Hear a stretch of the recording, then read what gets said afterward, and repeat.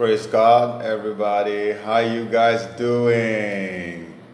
I hope you guys are doing great. I hope everybody can hear me all right.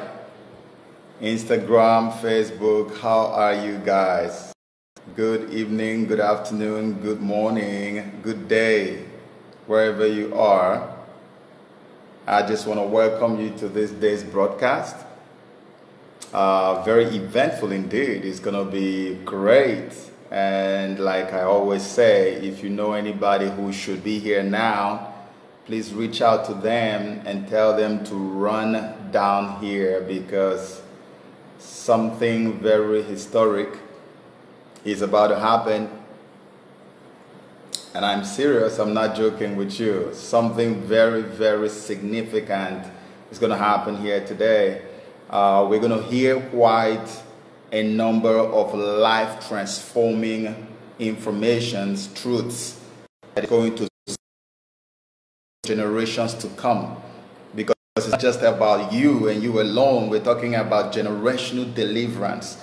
Uh, from this evil that we are coming to deal with today. So you need to get people to come on, as many people as need to be here, wake them up, sometimes my videos don't get to be seen by my mem- uh, my followers so just reach out to people and tell them to hook on you know because uh, there's a difference between being told or watching after and then being there live when it's happening.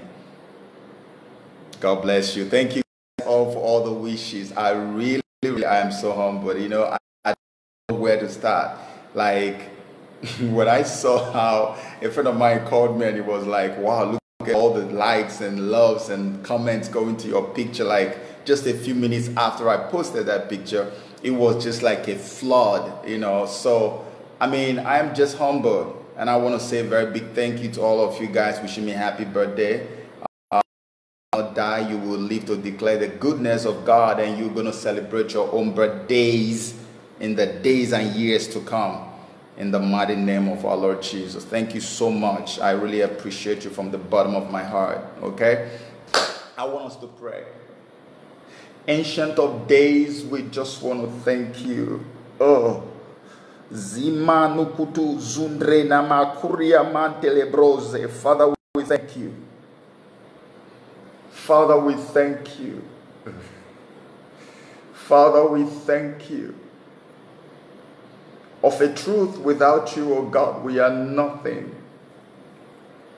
Your word says, O God, that my people perish for lack of knowledge. You shall know the truth, and this truth will set you free. Ancient of days, come and impact us with the truth. Come and speak undiluted truth to us. The truth that sets free, the truth that breaks every yoke of darkness, the truth that separates the chaff from the wheat.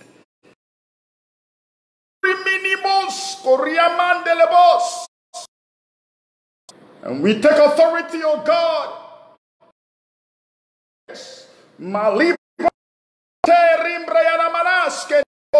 We angels of God into the atmosphere to take control right now by the power in the name of Jesus.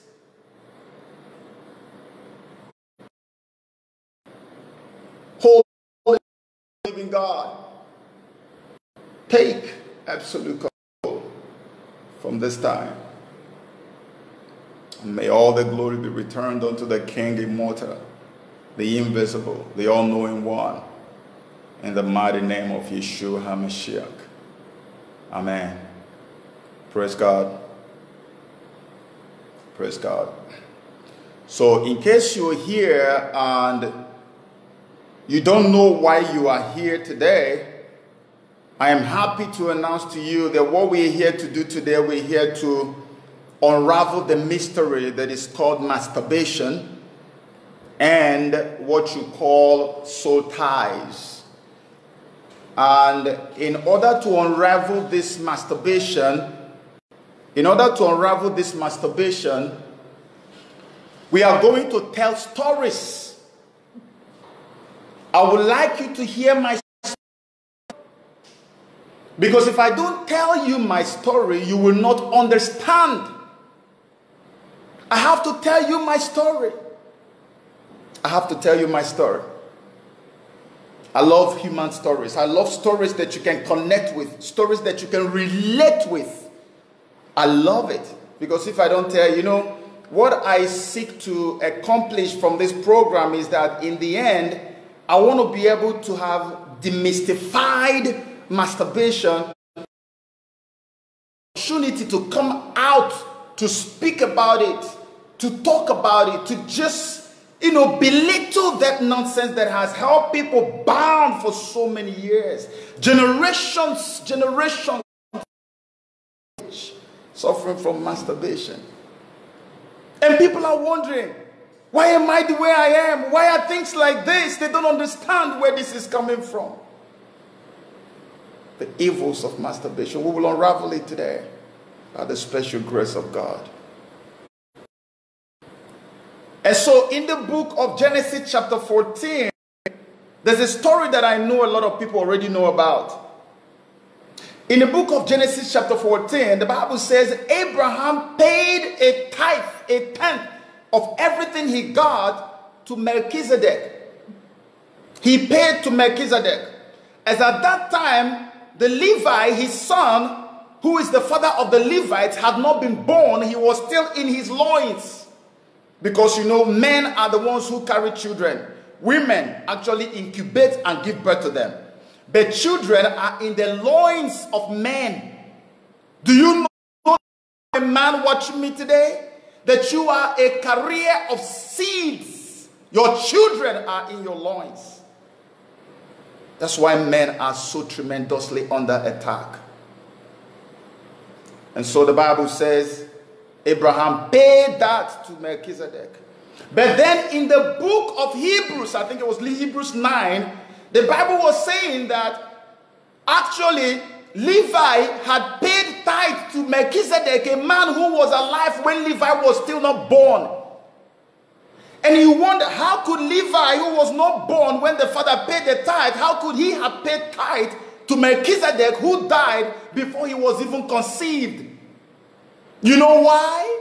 Because when Abraham paid that tithe to Melchizedek and the son was in his loins, it was imputed unto him that he too paid the tithe.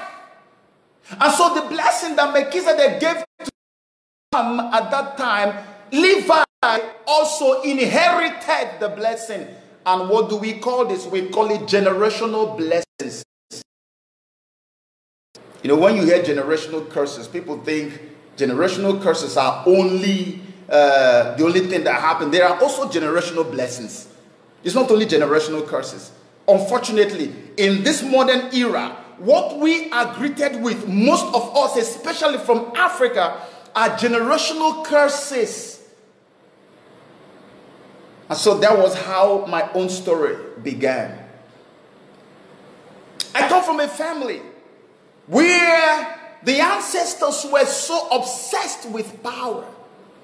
They needed power by every means. I was told that my ancestors committed all kinds of crime in order to get power from the devil. They even pounded babies alive. They killed women alive. They arrested and killed virgins. All kinds of stuff happened. And this is the story with so many families in Africa. And when they were doing all these things that the devil told them to do so they can get power and become the kings and become the warriors, you know what was going on? They were making promises with the devil that the children in their loins, the generations unborn, are going to be the ones that they are going to dedicate them to devil. And the devil was so happy because he had already seen the future of the generation. That these men were giving to the enemy because of something that they were going to get at that moment. Up generations to come. And so my father is just one of the many in that family.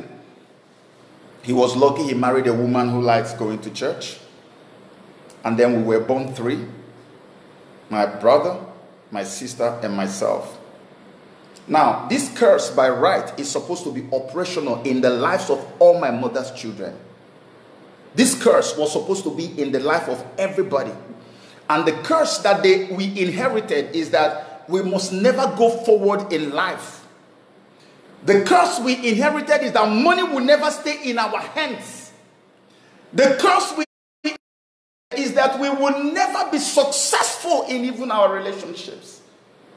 The curse was so bad that it meant that we must remain even in the village and not be exposed to anything outside. That's how it was. And I was supposed to have inherited this curse. Give me one moment. It looks like we're having a little issue with uh, Facebook. I'm not sure Facebook is responsive. I don't want any distraction on this program. Um, just give me one moment.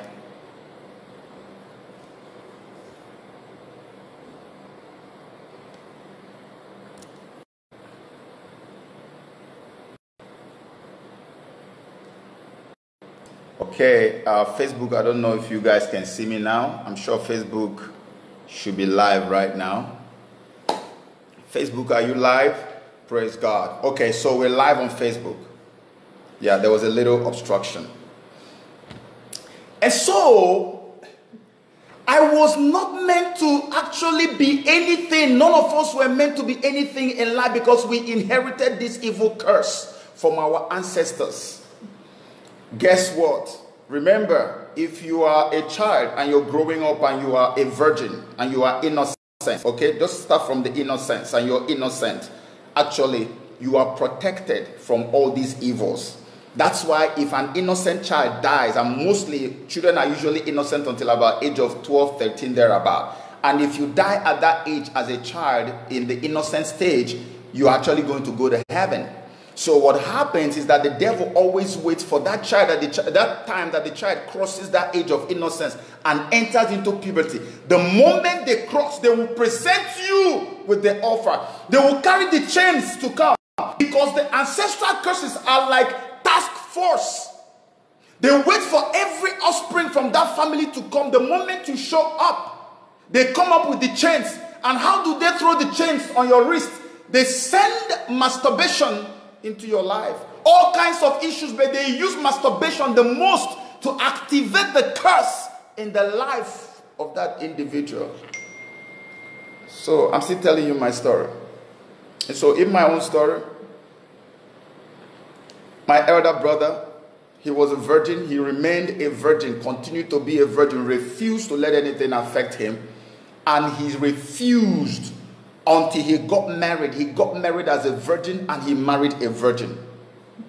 My kid sister, she remained a virgin. She continued and refused distractions. When she got married, she married a virgin and she got married to a virgin. Joseph Okechukwu, boom! I entered. You know where they got me from my own? I was watching a magazine some uncle came from abroad or from Lagos or something and came home and he brought a pornographic magazine and they hid it somewhere. And somehow, somehow, I just stumbled on this pornographic magazine and I saw the images. And it was so mysterious how even this magazine ended up in my home. Because normally you would not see any such thing in my home. I don't know whether the guy came to our house and he forgot it and I stumbled on the magazine and then I saw these pornographic images. I was between 12, 13, or 14 at that moment. I had just left my age of innocence. I couldn't continue with my virginity, so they got me there and they presented me with the offer. That was when I started masturbating. And as soon as I got involved in masturbation, they took the chains from my ancestors, the chains that the devil gave them right to hold, and they changed me immediately. And so my elder brother will be moving forward in life, my kid sister will be moving forward in life, but I was moving backward. And you know what they attack the most? It is your finances and your education. If you are somebody who is in school, let me tell you because some of you can relate to this. I would write exams for people, they will pass. But when I write my own, I will fail. Can I say it again? I would write exams. The people I write for will pass, but I will fail the exam. The chains have been put on my wrist spiritually because masturbation has come in to activate the curse upon my life. They had to use something to activate the curse. If it is not activated, it will not have effect on you. So they have to put masturbation. And not only that they activated it with masturbation, that masturbation is what I'm going to use to continue to renew the validity of that curse in my life. Every day I masturbate. That was my story. My life came to a standstill. I was going about telling people that I was a virgin, but I was a chronic masturbator. I would masturbate, masturbate anywhere, anyhow. I will finish praying now, and as soon as I say amen, I will still masturbate. I masturbated inside a church building while service was going on in church. I want you to have this on record. See, because today we are going to demystify this evil. And today, by the special grace of God, everything will be over. You will not suffer from this menace again. I said church service was going on. I was in church. I masturbated inside the church. It is so powerful that you can. It's so that's why when people are writing me, telling me how they suffer and labor under masturbation, I understand. No, you need to understand that I understand. I was there for 20 whole years plus. So don't you don't need to go too far to explain to me. When the air blows into your room where you are, it's so difficult at that moment to even begin to resist. It holds you so tight. You don't know, you don't have any other choice than to just go ahead and you do it. So I masturbated and I kept masturbating and I kept masturbating and my life kept spiraling out of control, out of control, out of control. You see, there's a sister who used to follow me. She called me one day. She said, Brother Joe, I have a very troubling story from my daughter who just turned 13. Her daughter just turned 13, a very beautiful girl. And in their family, there's a, a, generational curse in the family. The generational curse in the family is that when nobody is allowed to get married and stay in the marriage, Anybody who gets married, the marriage must break. All of them are single, single mothers everywhere in that family. Single, single motherhood everywhere. They just don't know what to do about it. It's a generational curse, it's a chain. And so her daughter had a dream. In the dream that the daughter had, a woman came in at a crossroads and the woman at the crossroads looked at the daughter and said, Come, come and meet me. She was carrying some things that she wanted to use to give to the child at the crossroads. And so when she was telling me this, she didn't tell me that the child had already started bleeding. So when she finished telling me all the story, I asked her, I said, Your daughter, has she started seeing her menses? She said, For the first time, this girl just saw her menses. And immediately after she saw her menses, the girl had this dream. And I said to her, listen, seeing her menses means that she has left the age of innocence. And so she has gotten to the junction where she will be presented with the bondage of the family. So they were coming to give her the chains that, that are meant for the family so that no matter where she goes in life, the same thing that happened to her mother and her aunties will still happen to the girl. And you know, if she had received that thing in the dream, she said the woman keeps coming to her dream every time to give her the thing and she keeps refusing. If had, she had received it, it means that the next minute that girl will go and be violated. She will go and get involved in sexual intercourse or start masturbating or stop, and then she will begin to activate this evil, evil every day upon her life. And she will start doing so bad in her education. A very bright child will go to school, she will not score anything at school. This is what masturbation does. Masturbation focuses more, especially on your finances and your education. So, this is just me telling you my story and how this thing works with ancestral curses. But by the way, what is masturbation? And so I wrote a different definition for masturbation. And I want you to pay very close attention. I'm going to read it out for you. I wrote a different definition for masturbation. I wrote that masturbation is a meditative stimulation of your sexual organs. A meditative, meditative stimulation of your sexual organs in order to arouse sexual feelings and derive sexual pleasure, which most often than not leads to orgasmic discharges. A meditative stimulation of your organs. It's not just to stimulate, no, meditative. I know a lot of people have asked me, oh, Brother Joe, what about when you withdrawal? Okay, so if you're an adult and you know withdrawal, you should know it. I'm not going to explain what it is, but you know. But when you do withdrawal, withdrawal is not masturbation. Withdrawal is called coitus interruptus. Coitus, C O I T U S, interruptus from interrupt and then put US after the end of it, after the T. Interruptus, coitus interruptus. That's what it, it is not masturbation. In masturbation, you a spiritual journey. You embark on a spiritual journey to give out your life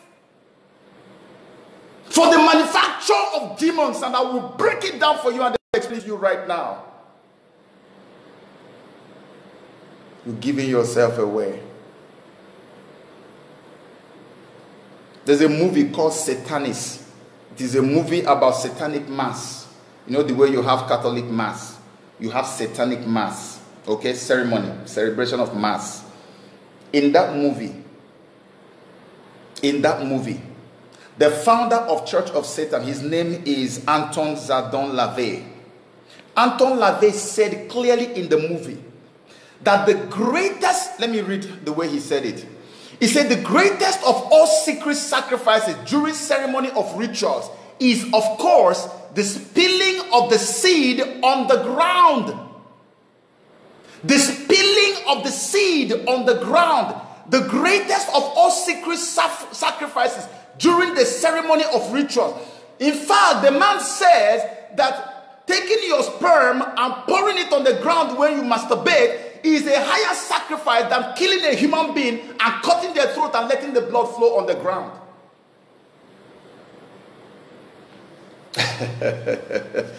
you don't know what you get yourself involved in. That's why the Bible says, You shall know the truth, and that truth will set you free.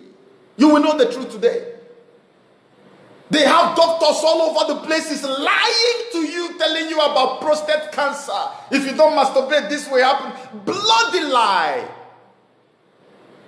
They have all kinds of people telling you, oh, you need to do this so you can sleep and rest. No, masturbation makes you sleepless. You have a lot of insomnia when you masturbate. This is first hand account I'm giving you.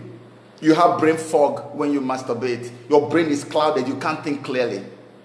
Everything they say you can get when you masturbate that will make work for you, all of them work against you. They are lying to you because they are. This is a merchant. They are merchandising your soul. Today. Praise God. I hope you're ready to learn something today. I hope you're ready to learn, something today. You take your, your this thing, you put it. They, they, you, you hear there's a song they call soapy, soapy, soapy, soapy. You do soapy, you pour it on the ground.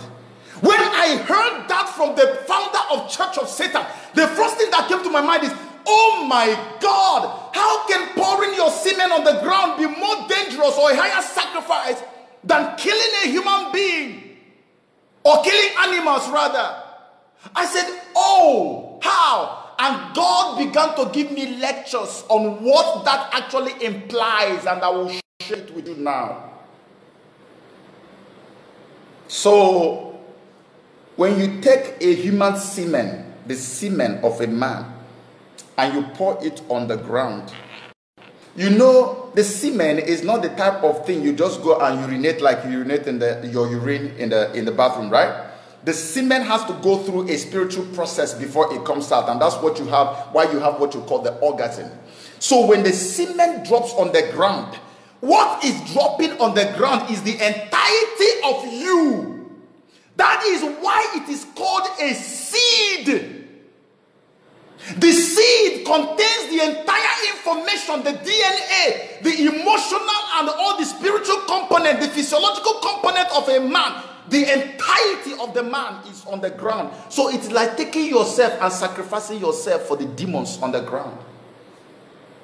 And so the moment that thing drops on the floor, that means you have committed a sacrifice, you've sacrificed yourself and dropped on the ground. Every sperm that drops on the ground there are all these components exist as energies.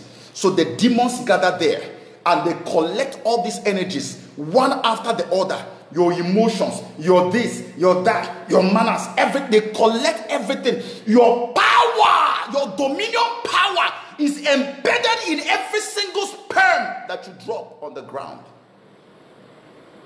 You don't believe me, right? Okay. The Bible says something in the book of Genesis, chapter 1, verse 28.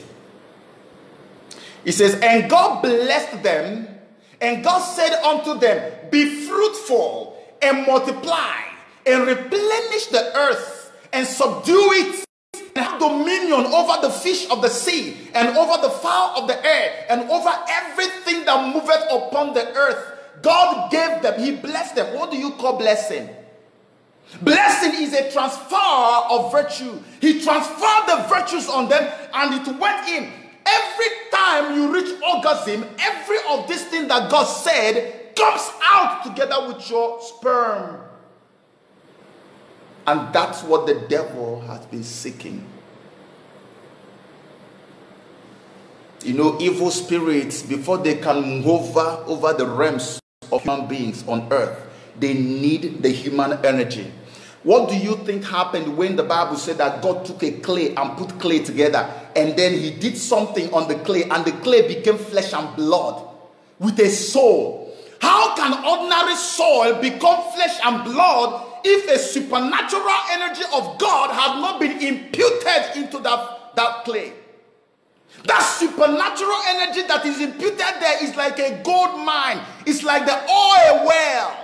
That's what demons are looking for. That's what you give to them every day. When you masturbate, it's like an oil well. They mine it, they need it, they mine it, they need it, they need it, they need it all over. So we give it to them. The revelation power, the dominion power, every single thing about you, you give them when you masturbate because they are embedded. That's why if you look at a tree that produces seeds, the seeds are produced every day, every day. You see the seed is pouring and pouring. After some time, you will notice that this tree is no longer producing as much as it used to produce before. Because the tree is now drawn, it is dry, it has given up everything that it has. Then the tree begins to die.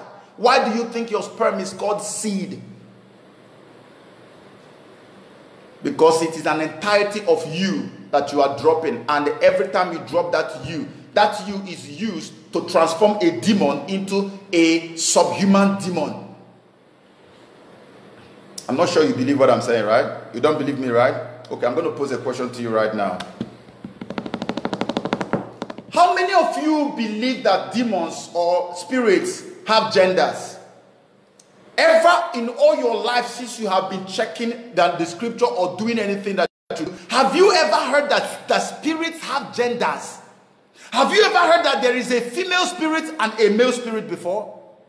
Spirits do not have genders.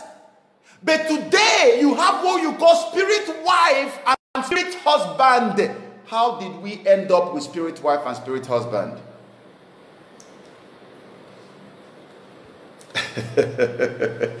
How did you end up with spirit husband and spirit wife?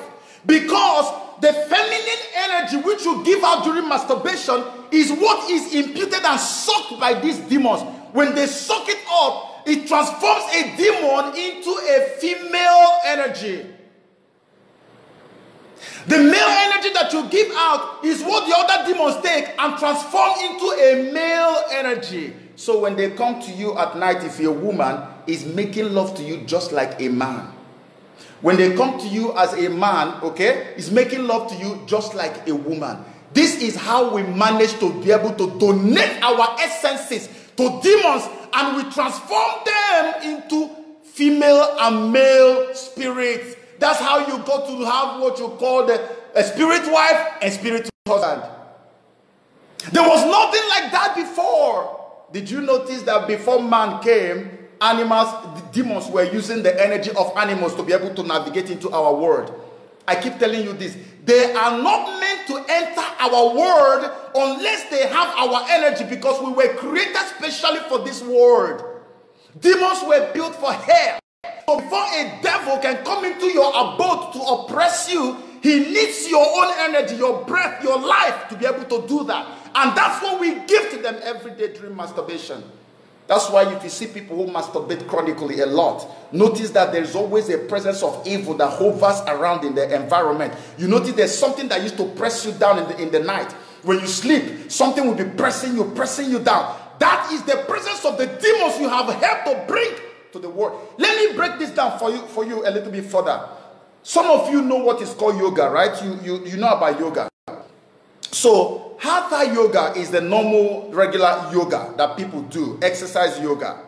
Now, there's what there's something that is called pranayama, breath control, and all the rest of them. Anybody who is involved in yoga, I want you to go and do this research and confirm and prove whether I am right or wrong.